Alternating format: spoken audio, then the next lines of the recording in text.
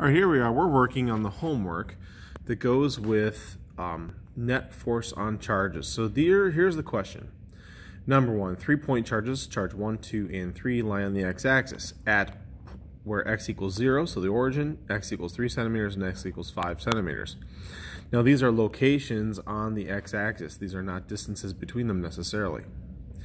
We see that we have charges given, six microcoulombs, one and a half microcoulombs, and negative two microcoulombs. So let's set this drawing up right here. So we are at the origin. We are at three centimeters and we are at five centimeters. Now what that means is your distance between numbers one and two is of course 0.3 meters. Your distance between two and three is 0.2, 0.02 meters.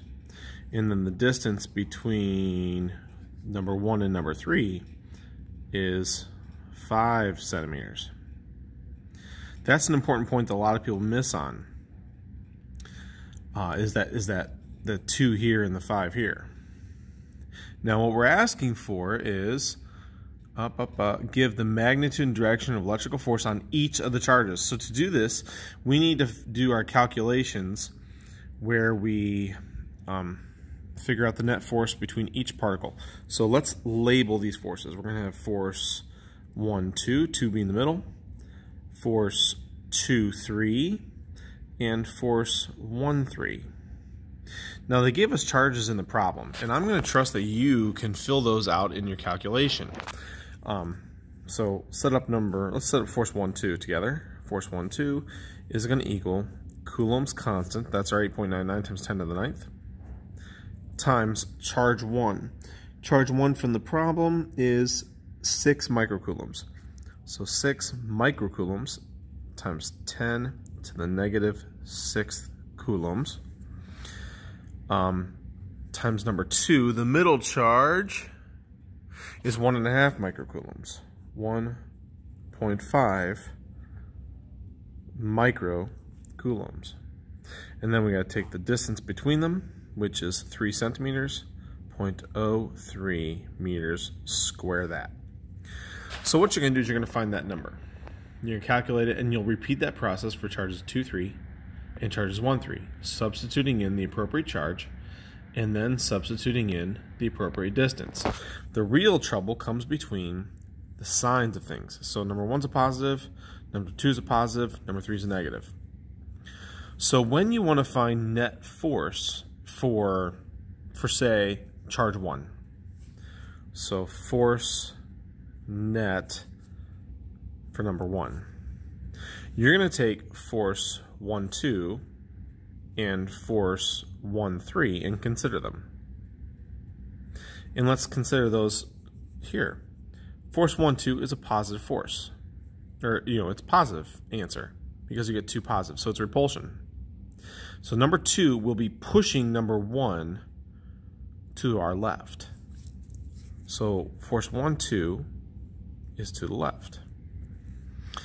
Force 1, 3 is attracted so number three will be pulling this other way to the right on number one. So that's to the right. So because those two directions are opposite one another, you'll need to subtract right there whatever your numbers come out to be for your net forces. For force, for the net force on number two, so it's in the middle here. Number one and two are both positive, it's repulsion. Number one will be pushing number two to the right.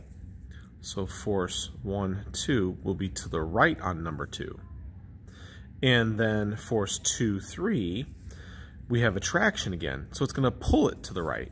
So in this case, because we're pushing, we're pushing to the right and pulling to the right, we will add those up.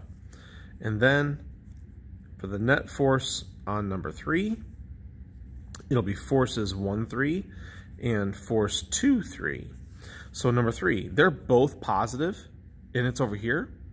So 2 is going to pull it to the left, and 1 will pull it to the left.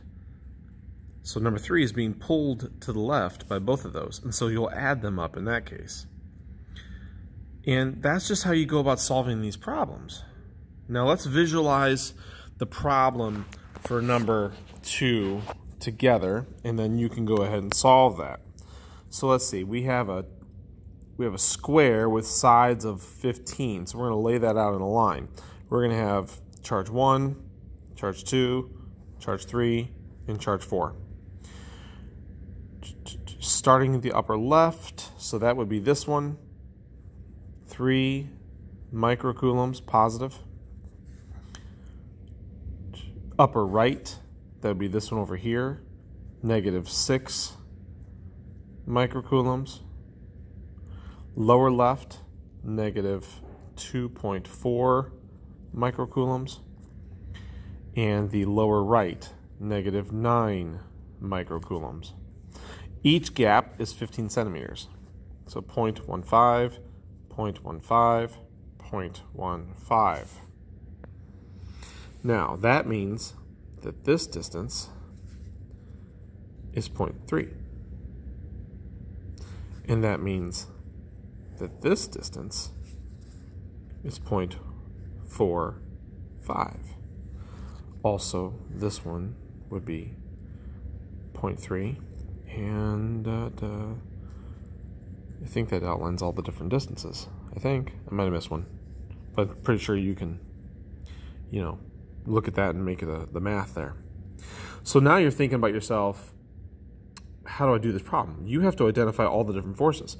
If we label this number one, number two, number three, and number four, we've got force one, two, force one, three, and force one, four. We also have force, well, we have two ones, we already have that. Force two, three, and force two, four. And then force, well, three, one, we already have it. 3, 2, we already have it. 3, 4. So that we, we just made six forces out of these four charges. And what you would do is the exact same thing we just talked about. You would, you would solve for all six forces. And then we have to take these numbers and we have to do some comparisons. So, right here, uh, we have, if we're looking at the net force acting on, let's see, they say the three charge. That's this guy. So number one, so force 1, 2, it's going to be attractive. So force, force net for number 1. Force net for number 1. Force 1, 2, force 1, 3, and force 1, 4. And what we're going to do is we'll say force 1, 2. It's attraction. The negative is going to pull on the positive. It's going to pull it to the right. Number 3 is a negative. It's going to pull it to the right. Number four is a negative. It's going to pull it to the right. And so we'd add those, we'd add those up. Where it gets a little different when you consider one of the middle ones. So force net for number two. We're going to say force net for number two here. Um, let's see, force one, two. Number one will be pulling it to the left.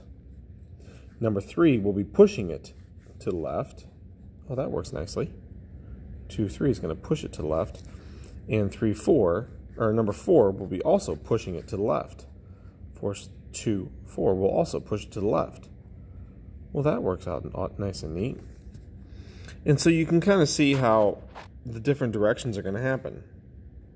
So you need to sit and work through these. And there's a lot of calculations. You need to practice that. All right, good luck.